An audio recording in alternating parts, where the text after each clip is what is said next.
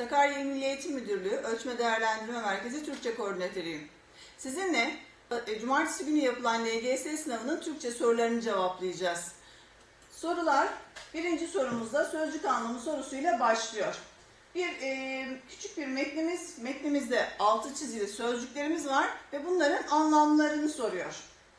Bu cümledeki ilk önce soru kökünden okumaya başlıyorduk soruları. Bu cümledeki numaralanmış sözcüklerin anlamca karşılıkları hangisinde verilmiştir diyor. Yazar çocukluk ve ilk gençlik yıllarını yoksulluk içinde geçirmesine rağmen azim ve iradesi sayesinde her türlü engeli aşmak suretiyle Türk ilim ve kültür hayatının kendisiyle daima iftihar ettiği örnek bir ilim insanı olmuştur. Şimdi burada azim sözcüğü, e, azim ve iradesi. Azim burada bir bakalım. Şöyle tahtaya sorularımız sığmıyor. Şöyle bir bakalım. Azim, cesaret değil, eledik. Gayret, kararlılık, direnme gücü. Yakın gibi ama cesaret olmadığını buradan eledik. Diğerine bakacağız. Azim ve iradesi sayesinde her türlü engeli aşmak suretiyle. Aşmak amacıyla mı, yoluyla mı? Bunu zaten elemiştik. İsteğiyle mi? Aşmak amacı ya da yolu ya da isteği. Yolu daha yakın görünüyor ama diğerine bir bakalım. Türk ilim ve kültür hayatının kendisiyle daima iftihar ettiği, kıvanç duyduğu. Buradan da zaten bize yoluyla yakında. Burada da kıvanç duymak, kararlılık. O zaman doğru cevabımız B seçeneği. İkinci sorumuz söz sanatları ile ilgili. Bu soruda e, bu metinde numaralanmış cümlelerin hangisilerinde aynı söz sanatı kullanılmıştır diye soruyor. Bu sorularda hep beklediğimiz üzerinde bir açıklama vermesiydi. Ama burada açıklama vermeden sormuş çünkü artık e, bu tarz soruları yapabileceğinizi biliyor. İlk cümlede bizim memlekette dağ, taş, orman, ağaç hayatın hikayesini anlatır. Burada orman, ağaç, dağ, taş konuşuyor. Burada benzetme değil, işte, e, kişileştirme var. Yani konuştuğunu düşünüyor sözler olmadığı için. Kişileştirme var. Bu bizim aradığımız değil. Toprak burada ustanın elinden çıkmış bir çinidir desen desen. Toprak çiniye benzetilmiş. O zaman birinci benzetme cümlemizi bulduk. Toprak verimlidir. Kuru çubuk diksen meyve verir salkım salkım. Kuru çubuğu, tamamen kurumuş çubuğu dikiyorsun meyve veriyor. Abartmış sanki. Bu da bizim aradığımız değil. Portakallar dallarında birer güneştir turuncu turuncu. Portakalları güneşe benzetmiş. O zaman dördüncü. 2 ve 4 doğru cevabımız D seçeneği.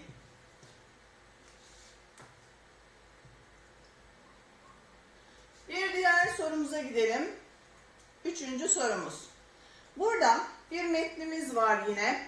Bu metinde sanatçının şöyle biraz büyütsek mi acaba?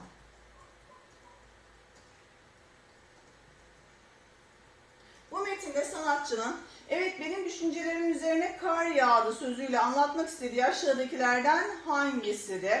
Metnimiz ne? Bir sanatçıya gazetecilerle yaptığı sohbet sırasında gazetecinin biri efendim uzun süredir yeni bir eser vermiyorsunuz yoksa düşüncelerin üzerine kar mı yağdı diye sordu. Bunun üzerine sanatçı kışın yağan kar toprağı örterek bitkileri şiddetli soğuktan korur. Toprağın altındaki bitki ve hayvanlar ilkbahara hazırlanır. Karlar eridiğinde tüm canlılıklarıyla hayatlarına devam eder. Evet benim düşüncelerimin üzerine kar yağdı şeklinde cevap verdi. Şimdi buradaki şunu soruyordu. Evet benim düşüncelerimin üzerine kar yağdı. Bunun ne, ne demek istiyor diye soruyordu. Burada Düşüncelerin üzerine kar yağmak ve ilkbahar mevsimiyle kış mevsimini benzetmiş. Diyor ki e, ne diyor burada? Evet kar yağar bir şeyleri örter ama alttakileri besler diyor. O zaman buna benzer bir şey arayacağız şimdi. Sanatçılar ürettikçe var olur. Bu yüzden her zaman ortaya koyacakları bir eserleri olmalıdır. Bu değil aradığımız. Dur şöyle biraz daha yukarıya alalım. Hepsini beraber görelim. Bu değil aradığımız. Eser üretmekle zorlanan eser üretmekte zorlanan sanatçılar sanat güçlerini gittikçe kaybederler. Hayır kaybetmiyor. Tekrar canlanacak. Bu da değil aradığımız. Sanatçılar verimsiz bir dönemde gibi görünseler de yeni eserleri için zihinlerinde hazırlık yaparlar. Evet işte aradığımız bu. Neydi? Kar örtüyormuş gibi görünse de alttakileri besliyordu. Burada da eser vermiyormuş gibi görünse de zihnini besliyor. Düşünce kısırlığı çeken sanatçılar düşüncelerini zenginleştirmek için çok iyi gözlem yapmalıdır. Böyle bir şeyden de bahsetmiyor. O zaman doğru cevabımız C seçeneği. Geldik diğer sorumuza. İkin, üç, e, şey pardon yanlış yere geldik. Dördüncü sorumuz. E, örnek sorularda da bol bol gördüğümüz e, yapısından sormuş. İki cümleyi birleştirme. Bu iki cümlenin anlamca doğru bir biçimde birleştirilmiş hali hangisidir diyor. Kartepe Kayak Merkezi yüksekliği 1060 1066 metre olan bir tepenin zirvesinin altında kurulmuştur. Kartepe Kayak Merkezi kış aylarında yoğun bir ziyaretçi akınına uğruyor. Bakalım hangisinde doğru birleştirmiş? Kartepe Kayak Merkezi yoğun ziyaretçi akınına uğrayan yüksekliği 1600 metre olan bir tepenin zirvesinin altında kış aylarında kurulmuştur. Hayır, kış aylarında kurulmasından bahsetmiyordu. Burası yanlış. Yoğun bir ziyaretçi akınına uğrayan Kartepe Kayak Merkezi, kış aylarında yüksekliği 1600 metre olan bir tepenin zirvesinin altında kurulmuştur. Yükseklik sadece kış aylarında değil, bu da yanlış. Yüksekliği 1600 metre olan, e, 1606 metre olan bir tepenin zirvesinin altında kurulan Kartepe Kayak Merkezi, kış aylarında yoğun bir ziyaretçi akınına uğruyor. Burada bir sıkıntı göremiyoruz. Bir şu şöyle dursun. Bir tepenin zirvesinin altında kurulan Kartepe Kayak Merkezi yüksekliği 1600 metre olduğundan kış aylarında yoğun bir ziyaretçi akınına uğruyor. Yüksekliği 1600 metre olduğundan ziyaretçinin akınına uğramıyor. Ziyaret kış aylarında ziyaretçi akınına uğruyor ama neden uğradığını burada ifade etmemiş. O zaman doğru cevabımız C seçeneği. Geldik diğer sorumuza. Kaçtı bu? 4, bu da 5. Burada da aşağıdakilerden hangisi bir projede çalışacak kişilerin bu metinde verilen özelliklerinden değildir diyor. Bu metne göre bu e, seçenekleri çıkarıp çıkaramayacağımızı soruyor. Bakalım e, ne bulabilmemizi istiyormuş? Liderlik edebilme, planlı çalışabilme, ekip çalışması yapabilme alanında uzman olma. Bunları metinden hangisini çıkaramayacağız? Çıkarabileceklerimizi bulalım. Bir projenin başarıya ulaşmasında birçok etken vardır. En başta proje kapsamında çalışacak her bir elemanın yapacağı işte, işle üst düzey bilgi birikimine sahip olması gerekir. Evet burada şunlardan bir tanesini gördük. Alanında uzman olma. Şurada üst düzey bilgi birikimi alanında uzman olma. Neydi? D seçeneği burada var. Bu çıkacak sorunların hızla çözülmesinde ve projenin sorunsuz ilerlemesine önemli bir etkendir. Proje çalışanların birbiriyle uyumlu ve eş zamanlı çalışması da projenin sağlıklı yürümesi için önemlidir. E burada da uyumlu ve eş zamanlı çalışma o zaman ekip çalışması. Bunu da burada bulduk. Bunlarla birlikte maliyete ve takvime uygun bir çalışmanın yapılması da gerekir. O zaman bir plan yapabilecek. O zaman planlı çalışmayı da burada bulduk. Bulamadığımız liderlik edebilme. Bununla ilgili bir kişilik e, çalışacak kişilerin özelliklerinden liderlik edebilme ile ilgili bir ifade yok. Geldik altıncı sorumuza. Bunun için biraz küçültmeye ihtiyacımız var. Evet. Bu neydi? İş planı ile ilgili bir soruydu. Ee, Sude Hanım şirkette hafta boyunca yapacağı planlama, denetleme, personel alımı ve raporlama işleri için şekildeki gibi bir tablo hazırlamıştır. Bu tablodan bahsediyor. Yapacağı işleri tabloya yerleştirirken işlerin etki derecesini, uygulama kolaylığını göz önünde bulundurmuştur. Bunları da şu şekilde belirtmiştir. İşlerin etki derecesi yüksek, düşük, uygulama kolaylığı kolay, zor diye bu şekilde gidiyormuş. Bu şekilde şu şekilde belirtmiştir diyor. Hemen bakalım. Planlama, uygulaması zor ve etkisi yüksek. Uygulaması zor, etkisi yüksek. O zaman buraya planlama gelecek. Raporlama, uygulaması zor ve etkisi düşük. Uygulaması zor, etkisi düşük. Zor dedik, ee, burada olacak. Düşük dedik, burada olacak. O zaman burası raporlama.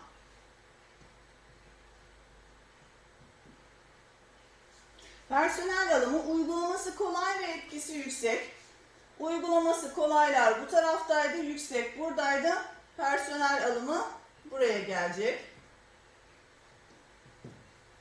Denetleme uygulaması kolay ve etkisi düşük. Uygulaması kolay bu tarafta, etkisi düşük burada. O zaman burası da denetleme olacak. Şöyle. Sudenaz Hanım'ın bir hafta içinde yapacağı işler şunlardır. Şirketin sonuç aylık durumunu ortaya koymak amacıyla üretim satış verilerine ilişkin grafik ve raporlar, tablolar hazırlamak. Bu ne? Raporlama. O zaman raporlama bu buraya gelecek. Burası bir. Aksaklık olup olmadığını görmek amacıyla fabrikadaki işleyişi kontrol etmek. Bu ne? Denetleme. Denetleme buraya gelecek. Hangi işin ne zaman yapılacağına dair, dair bir çizelge hazırlamak. Çizelge hazırlıyor. Ne yapıyor? Planlıyor. Planlama neredeydi? Burada. Planlama. Burası denetleme. Planlama 3 e, şuraya gelecek. İş şirketin ihtiyaç doğrultusunda iş başvurusunda bulunan adayların özgeçmiş formlarını incelemek. E, personel alımı burasıydı. Bu personel alımı. Bu da 4 buraya gelecek. 1, 2, 3, 4. Zaten bize ha, tablonun, iş planı tablosunun hangisi olduğunu soruyordu. O zaman 1, 2, 3, 4 hemen bir bakalım aşağıda. 1, 2, 3, 4 A seçeneğimiz. Bir diğer sorumuzda yapılan bir ankette sorulan sorulara verilen cevapların yüzdesi grafiklerle gösterilmiştir diyor. Ve bize soruyor hangisi bu grafiklerin raporlaştırılmış halidir? Günlük hayatta artık grafikler ve raporlar kullanılıyor. Günlük hayatı e, soran bir soru bize. İki tane soru var grafiklerde. Yapay zekaya mı, insan zekasına mı daha çok güvenirsiniz? Çalışanlar e, yapay zekaya %27, e, öğrenciler yapay zekaya %26 güveniyor. O zaman çalışanlar yapay zekaya daha çok güveniyor. Hemen burada bir e, anketi yorumlayarak gidelim biz raporlamadan önce. E, insan zekasına e, güvenen çalışanlar %73, insan zekasına güvenen öğrenciler %74. O zaman e, insan zekasına öğrenciler daha çok güveniyor. Ee, çalışanlar yapay zekaya daha çok güveniyor ilk e, grafikte. İkinci grafik, yapay zekanın günümüzde pek çok işi insanın yerine yapıyor olması sizi endişelendiriyor mu? Çalışanlar %59 hayır diyor, öğrenciler %47 hayır diyor. O zaman çalışanlar daha az endişeleniyor. Bakıyoruz evet öğrenciler %53 evet demiş, burada %41 evet demiş. Öğrenciler daha fazla endişeleniyor. Bunların şimdi raporlaştırılmış halini buradan bulalım. Araştırma sonucuna göre çalışanlar yapay zekaya öğrencilerden çok güvenmektedir. Evet, çalışanlar yapay zekaya öğrencilerden çok güvenmekte. Burası doğru. Devamına bakalım. Çalışanlar öğrencilere göre yapay zekanın işleri insanın yerine yapmasından dolayı daha çok endişe duymaktadır. Çalışanlar hayır, öğrenciler daha fazla en, e, pardon şurası. Öğrenciler daha fazla endişe duyuyordu ikinci grafik.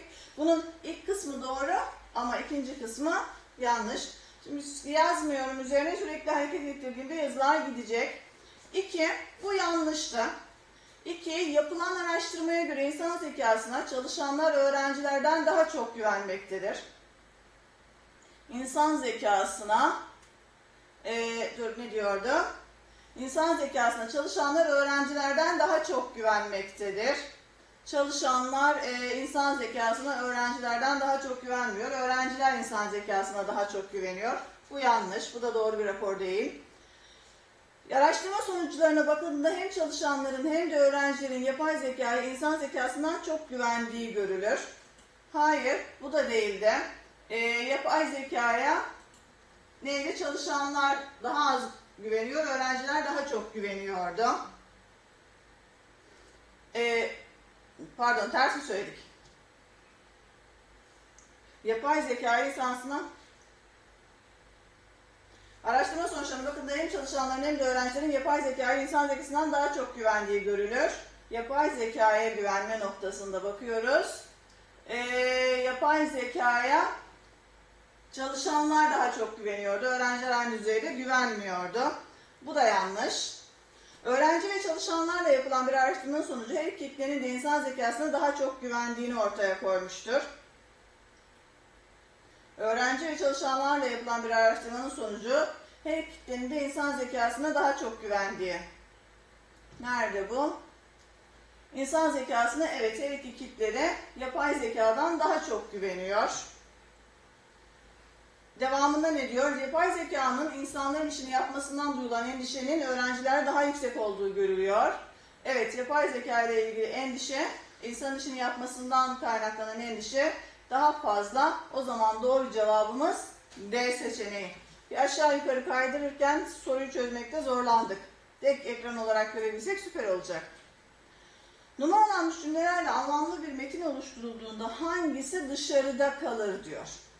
Evet, e, yine bu tarz örnek soruları gördük. Hemen bakalım. İlk önce buradan dışarıda kalanı bulmak için ilk önce anlamlı metni oluşturmamız lazım. Hangisiyle başlayabilir onu bulmamız lazım. Çünkü bu tepelere değil yükle tırmanmak, yürüyerek çıkmak bile çok ağır bir spor gibi. Çünkü diye başlamış cümle bununla başlayamaz. Her birimizin taşıması gereken yük 6-7 kilo var. Bununla başlayabilir. Oduncular köküne zarar vermeyecek şekilde meşeleri kesiyor ve kızağa yüklüyorlar. Bununla da başlayabilir. Onlar taşınacak yükleri, baltaları ve diğer malzemeleri hazırlamış, bizi bekliyorlar. Onlar taşınacak yükleri hazırlamış. Başlayabilir ama daha düşük bir ihtimal. Bu ağırlığı ne demek olduğunu diyor. Bu ağırlık bahsetmiş, bununla başlayamaz. Dağdan odun indirecek odun olan, e, indirecek odun ekibiyle buluşmak için sabah erkenden köyün meydanına geldik diyor. Bununla da başlayabilir. Şöyle bir hepsini de okumuş olduk. Baktık. Başlamak için en uygun sanki şu. Dağdan odun indirecek odun ekibiyle buluşmak için sabah erkenden köyün meydanına geldik. Evet geldik. Sonra ne oldu? Onlar taşınacak ipleri, baltaları ve diğer malzemeleri hazırlamış bizi bekliyorlardı. Biz meydana geldik.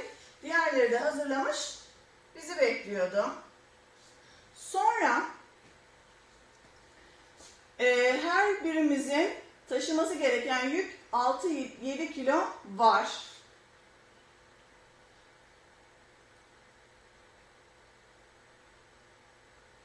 Evet. Sonra çünkü bu tepelere değil yükle tırmanmak He pardon, ilk önce şu, yanlış yaptım. Onlar taşınacak ipleri, baltaları ve diğer malzemeleri hazırlamış bizi bekliyorlar. Çünkü bu tepelere değil yükle tırmanmak, yürüyerek çıkmak bile çok ağır bir spor gibi. Şimdi ilk önce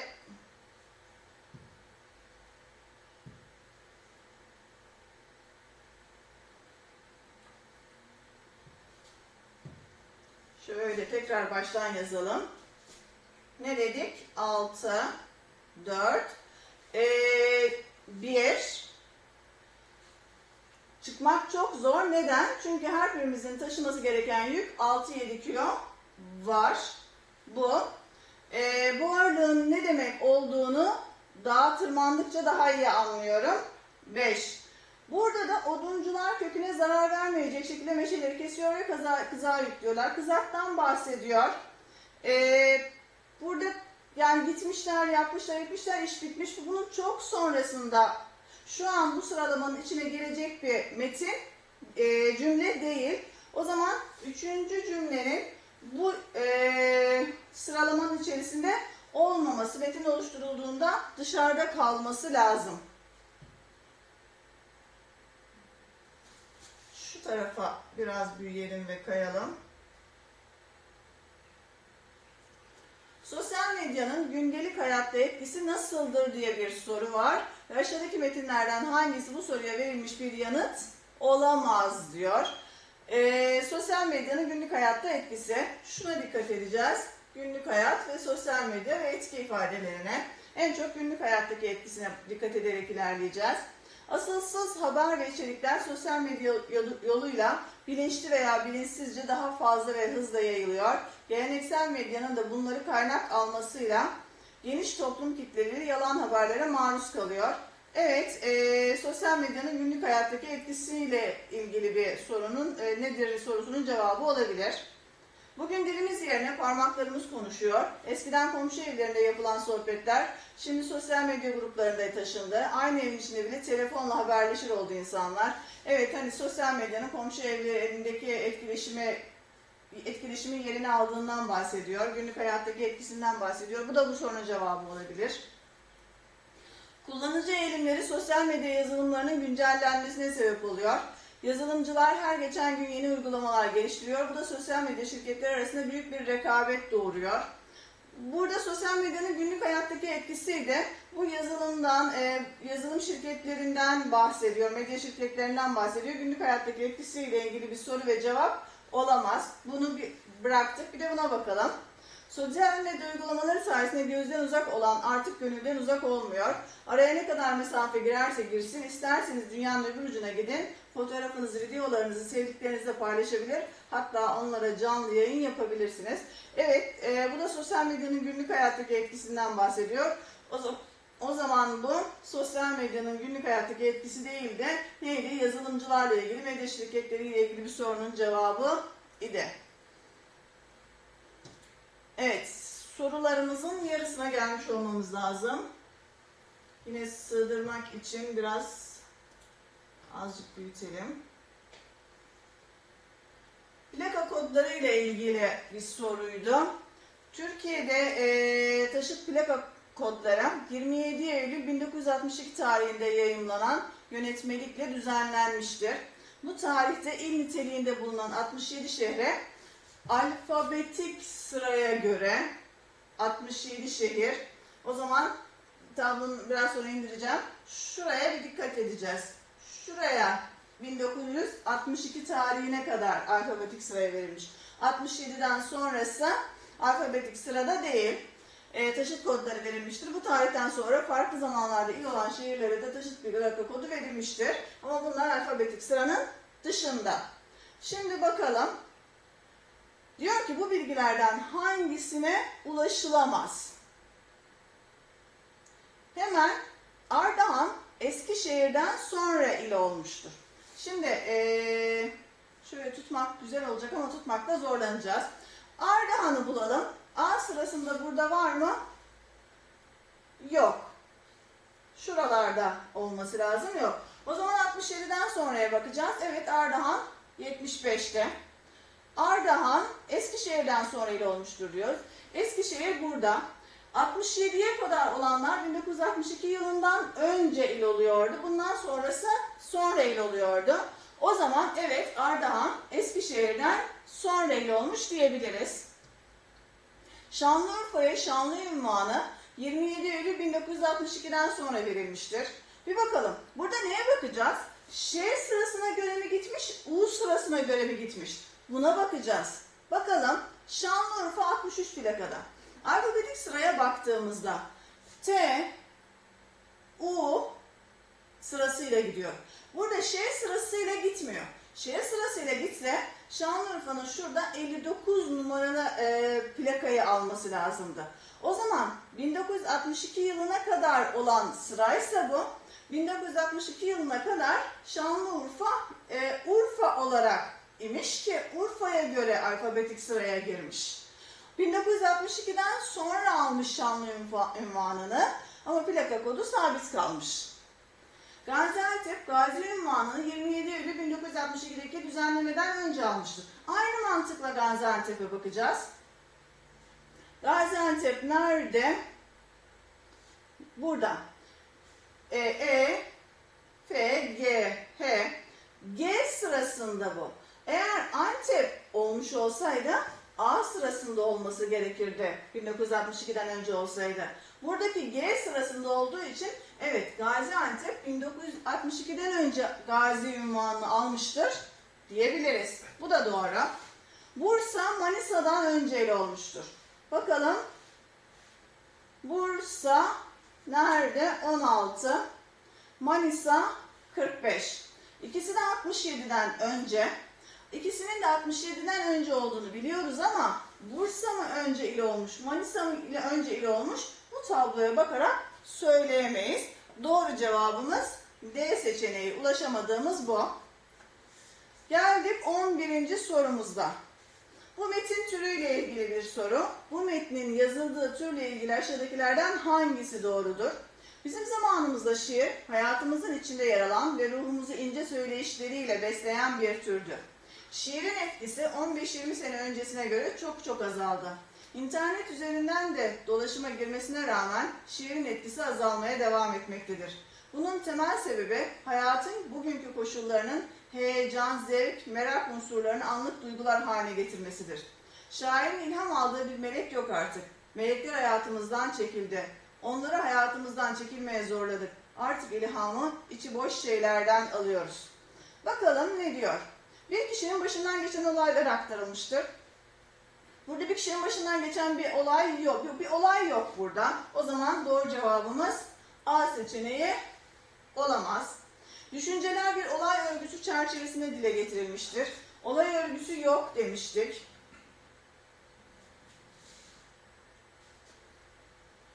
Düşünceler kanıtlama amacı güdülmeden öznel bir üslupla ifade edilmiştir.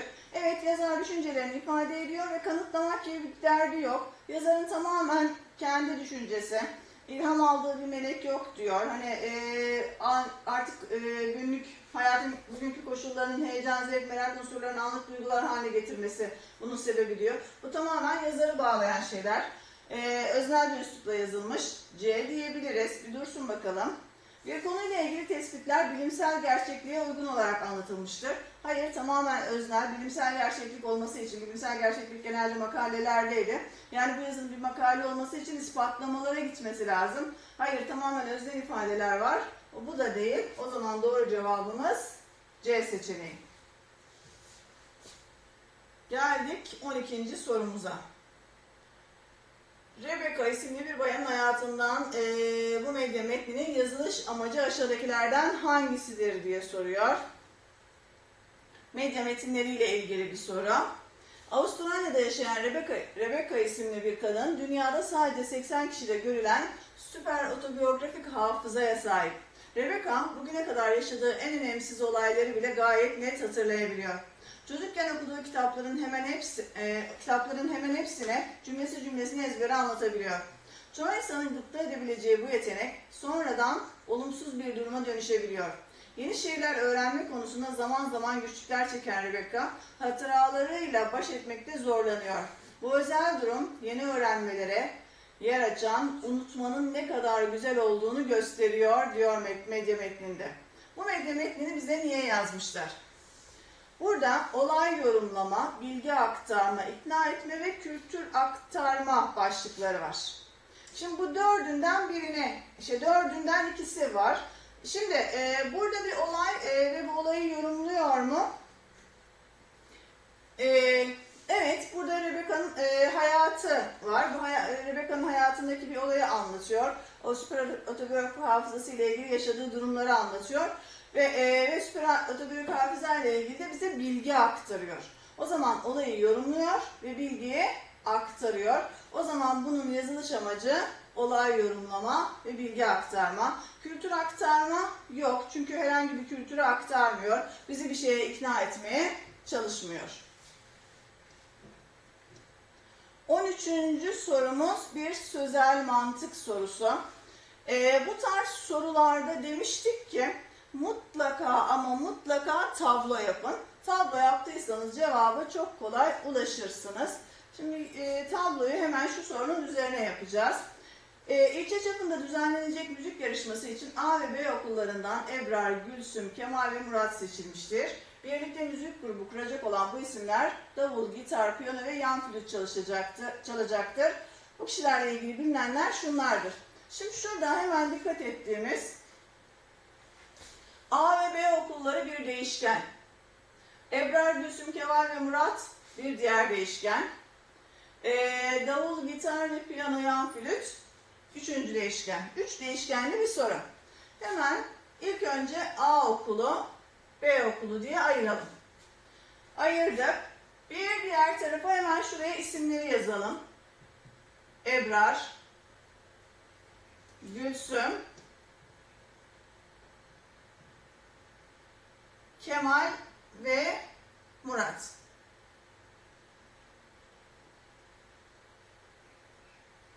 Şunları da şöyle ayıralım.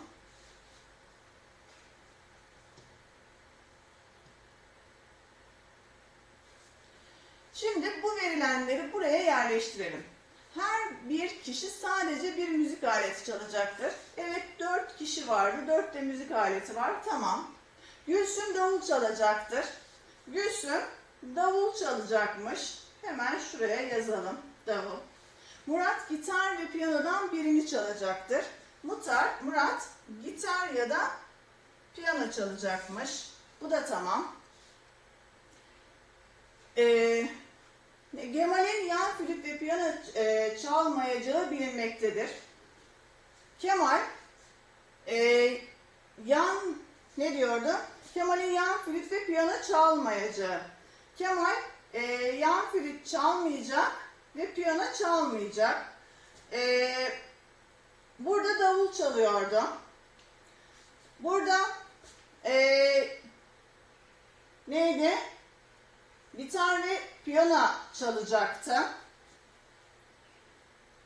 Dur toparlamaya çalışalım. Bu kesin davul çalıyordu. Davul gitti. Kemal yan flüt ve gitardan yan flüt ve piyano çalmayacak Kemal. Şuraya yanlış yaptık. Yanlış yere yazdık. Hala silgiyi alamadık.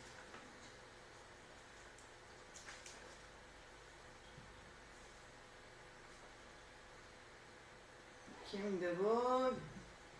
Ebrar, Gülsüm, Kemal, Murat. Ne demiştik? Gülsüm davul çalıyordu. Ee, biraz hızlanalım. Gülsüm davul çalıyordu. Ee, Murat gitar veya piyanodan birini çalacaktı. Kemal yan flüt ve piyano çalmayacaktı.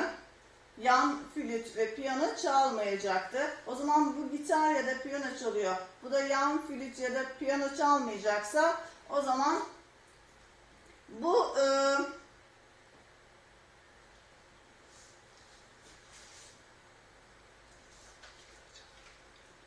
gitar çalar. E, piyanoyu bir dakika çocuklar.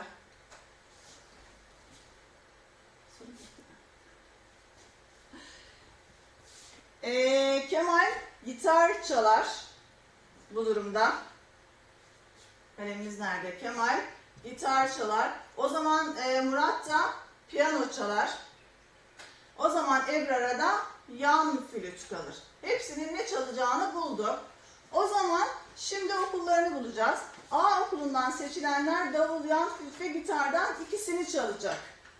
A okulundan seçilenler davul, e, yan flüt, davul, yan flüt ve gitardan birini çalacak. O zaman şunlar, e, şu o zaman Ebrar e, bunlardan birini çalacak A okulundan seçilenler. O zaman şu kesinlikle B okulunda diyoruz. Bunu kesin bulduk. Kemal ve Gülsüm farklı okullardan seçilmiş. O zaman şunlar farklı okullardan seçilmiş. Kemal ve Gülsüm. Ee, biri A okulunda ise biri B okulunda. O zaman ikisinin de A okulunda olmasına imkan yok. O zaman Ebrar kesinlikle A okulunda olur. Bunların hangi okulda olduğunu bilmiyoruz. Buna göre şimdi tabloları değerlendireceğiz. Gülsüm ve Ebrar aynı okula gitmektedir. Hayır Ebrar A okulundaydı. Gülsüm'ün okulunu bilmiyorduk. Bunu söyleyemeyiz. Kibar, Kemal gitar çalacaktı ve B okulundaydı. Ee, Kemal gitar çalacak ve B okulunda. Hayır Kemal'in hangi okulda olduğunu bilmiyorduk.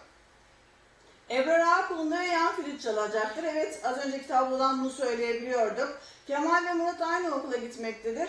Hayır e, Murat'ın biliyorduk okulunu ama Kemal'in okulunu tam bilmiyorduk. O yüzden doğru cevabımız C seçeneği.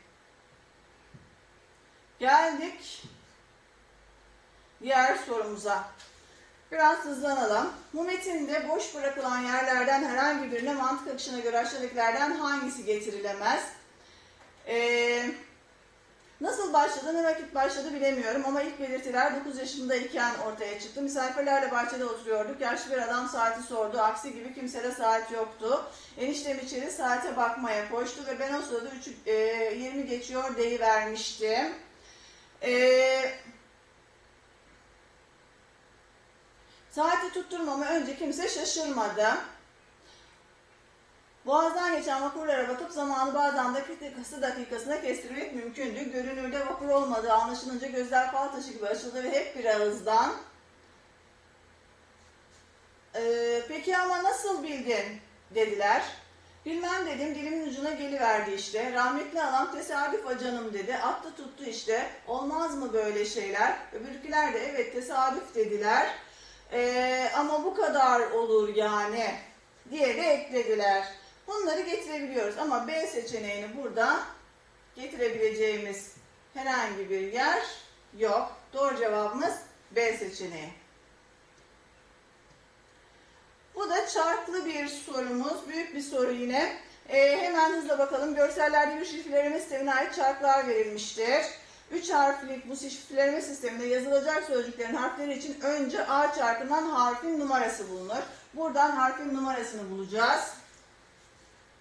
Ee, sonra sözcüğün birinci harfi için T, ikinci harfi için G, üçüncü harfi için B çarkından numaraya karşılık gelen harf yazılır. Üçten fazla harfi olan sözcüklerde ise döngü aynı şekilde devam edilir.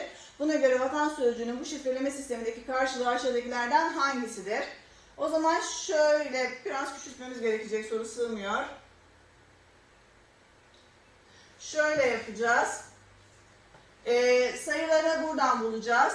Birinci, ikinci, üçüncü. Tekrar döndüğümüzde 4, 5, 6 diye böyle gideceğiz. Vatan sözcüğü ilk sözcüğümüz ve 27. Birdeki 27'ye bakalım. R. 2'de hemen A'ya bak e, A'dan 2'de A'yı şey e, bir A çarkımızdan A'nın numarasını buluyoruz. 1 Y T hemen T'nin numarasını buluyoruz. 24. Buradan T'yi buluyoruz. 24 e, vatan evet T 24 U bir diğer e, A sözcüğümüz A1'de hemen burada A'ya bakıyoruz. T bir diğeri N idi. N'ye bak e, N'ye N'nin numarasına bakalım. 17. 17 buradan şu altta kaldı. T, o da T. Son ikisi T idi. O zaman R, G, U, T, T, A seçeneği. Geldik 16. sorumuza. Hibrit otomobillerle ilgili bir soruydu. Otomobillerde hibrit teknoloji, çevreci ve ekonomik olması nedeniyle son yıllarda tercih edilmeye başlandı. Hibrit araçlarda fosil yakıtla ve elektrikli çalışan iki ayrı motor bulunur. Hibrit otomobil teknolojisi bu iki motoru uygun durumlar için değişmeli ve veya beraber kullanarak aracın yakıt verimliliğini arttırarak, arttırırken zararlı gaz salımlarını azaltır. Hibrit otomobilin çalışma sisteminden bahsediyor. E, burada da motorları vermiş. E, kalkışta sadece elektrikli motor çalışır. Bu elektrikli motor. Normal sürüşte asıl gücü elektrikli motor sağlarken diğer motor gerektiğinde destek olur. Hızlı sürüşte benzinli motor asıl gücü sağlarken elektrikli motor destek olur. Yavaşlamada benzinli ve elektrikli motor durur. E, pilin şarj olma durumlarını göstermiş. Düşük şarj, orta şarj, yüksek şarj. Evet, benzinli motor çalıştığında düşük düzeyde şarj olur. Hızlı sürüşte, sürüşte şarj olmaz. Frenleme e, sırasında yüksek düzeyde şarj olur diyor. Ee, Uyarı, simgeler üzerindeki bölmelerin doluluk seviyesi, motorların çalışma seviyesinde pilin şarj olma durumunu göstermektedir. Bu bilgilerden yola çıkarak benzinli ve elektrikli motorun çalışma seviyeleriyle pilin şarj olma durumunu göstermek isteyen biri aşağıdakilerden hangisine yanlışlık yapmış olur? Kalkış, hemen kalkışa bakalım ne diyordu? Sadece elektrikli motor çalışır. Evet, kalkışta sadece elektrikli motor çalışıyor. Doğru. Normal sürüşte asıl gücü elektrikli motor sağlarken diğer e, motor gerektiğinde destek olur. Asıl gücü elektrikli motor sağlayacak. Burada bir terslik var. Asıl gücü benzinli motor sağlıyor. Burada sanki bir hata var. Bir dursun bakalım. Hızlı sürüşte benzinli motor asıl gücü sağlarken elektrikli motor destek olur. Evet, benzinli motor asıl gücü sağlıyor. Elektrikli motor destek oluyor. Bu doğru. Yavaşlama frenlemede benzinli ve elektrikli motor durur. Evet, benzinli ve elektrikli motor durmuş. Evet, bu da doğru. O zaman şurada bir hata vardı. Doğru cevabımız B seçeneği. 17 noktalama işaretlerin işleviyle ilgili bir sorumuz. Bu metinde noktalama işaretlerinin işlevi aşağıdakilerin hangisine yanlış verilmiştir? Ee, e, hemen metnimizi okuyalım. Şezen şehri 1980'lerde uygulamaya başlanan SEZ, Özel Ekonomik Bölge Projesi ile kurulmuş ve projeden sonra gelişmiş bir şehir. Şezen sokaklarını adımlar ve teknolojik dünyanın enerjisini hissederken hep aynı tipler çıkıyor önümüze. Güçlerinin peşinden koşan girişimciler, ilham peşindeki sanatçılar, kişilik arayışına çıkmış kayıp ruhlar. Ee, burada 3 nokta var, 2 nokta var, virgüller var, e, kesme işareti var, e, parantez kullanımı ve nokta kullanımı var. Bunlardan biriyle ilgili sorular gelecek. İki nokta kendisiyle ilgili örnek verilecek cümlenin sonuna konmuştur. Ee, evet, kendisiyle ilgili örnek verilecek cümlenin sonuna konmuş. Doğru. Virgül, virgül birbiri ardınca sıralanan eş görevli kelime ve kelime gruplarının arasında kullanılmıştır. Evet, güçlerinin peşinden koşan girişimciler, işte sanatçılar diye arasında kullanılmış. Doğru. Yay araç cümledeki anlamı tamamlayan ve cümlenin dışında kalan ek bilgileri belirtmek amacıyla konulmuştur. Evet, buradaki e, ifadeyi belirtmek için kullanılmış. Doğru. Üç nokta herhangi bir sebepten dolayı açık yazılmak istenmeyen kelimenin e, kelime ve bölümlerin yerine konmuştur. Üç nokta hayır, e, buradaki örneklerin devam ettiğini göstermek için kullanılmış. Öyle bir görevle kullanılmamış. Doğru cevabımız denizde. 18. soru bu açıklamaya göre aşağıdakilerden hangisinin altı çizili öğe cümlenin öznesidir diyor. Burada özne ile ilgili bilgi vermiş. Özne yüklemin bildirdiği işi yapan, yüklemin bildirdiği durumu üzerine alan öğedir. Nesne ise cümlede öznenin yaptığı eylemden etkilenen öğedir. Selim çantasını masaya bıraktı cümlesini bırakma işini yapan Selim'dir ve cümlenin öznesidir. Selim'in bırakma işinden etkilenen ise çantadır ve cümlenin nesnesidir. Ee, buna göre diyor hangisinde altı çizili öğe cümlenin öznesidir. Ee, hangisinde? Bakalım pencerenin önündeki ağacın çiçekli dalları rengarenk bir kelebeği ağırlıyordu. Yüklemi buluyoruz ilk önce. Tüm hangi öğeyi bulacak olursak olalım ilk önce yüklemi buluyoruz. Ağırlıyor yüklem. Ağırlayan ne? Kim? Ağırlayan ne? Pencerenin önündeki ağacın çiçekli dalları özne. Bu doğru gösterilmiş sanki. Doğru cevap A gibi duruyor. Diğerlerini bir kontrol edelim. Sağlı sollu ırmaklar kasabadaki doğuya meyilli sokakları canlan, canlandırmıştı. Canlandırmıştı. Yüklem canlandıran ne? Canlandıran kim? Sağlı sollu ırmaklar. Özne bu. Neyi? Ee, kasabadaki doğu, doğuya meyilli sokakları. Bu da nesne. Bu yanlış gösterilmiş. İlkbahar rüzgarıyla neşelenen martılar sessizliğe bürünen sokağı çınlatıyordu. Çınlatıyordu yüklem. Çınlatan kim? Çınlatan ne? İlkbahar rüzgarıyla neşelenen martılar. Özne. Neyi? Sessizliğe bürünen sokağı nesne. Bu da yanlış gösterilmiş. Derme çatma kır parçasını genç bir dut ağacının gölgesi koruyordu. Koruyordu yüklem. Koruyan ne? Koruyan kim? Genç bir dut ağacının gölgesi. Neyi? Derme çatma kır parçasını. Yine nesne gösterilmiş. Özne genç bir dut ağacının gölgesi olmalıydı. O zaman ilk bulduğumuz Adana doğru cevap. Geldik 19. sorumuza. Zarf fiili soruyor bize. Bu parçada numaralı cümlelerin hangisinde zarf fiil yoktur diyor. E, açıklama cümlede durum veya zaman bildiren fiilimsiler zarf fiildir. Örnekler demiş. Murat Nehri, e, Murat Nehri donunca gençler üzerinde top oynuyormuş. E, ne zaman? Murat e, donunca zarf bildiren zarf fiil. Gözlerini kitaptan ayırmadan sorduğum e, soruya cevap verdi. nasıl ayırmadan durum bildiren zarf fiil. Hangisinde zarf fiil yoktur? Yaz aylarında tamamen kuruyan Murat e, kuruyan Karamuğla Deresi'nin yatağını takip ederek Savur e, Hane Meydanı'na ilerliyorum. E, ederek e, burada zarf fiil burada bulduk.